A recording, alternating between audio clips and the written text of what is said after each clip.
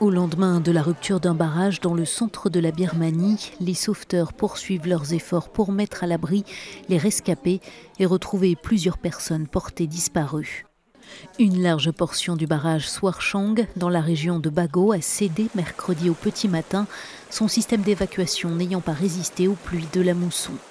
85 villages ont été inondés et plus de 63 000 personnes ont dû quitter leurs habitations.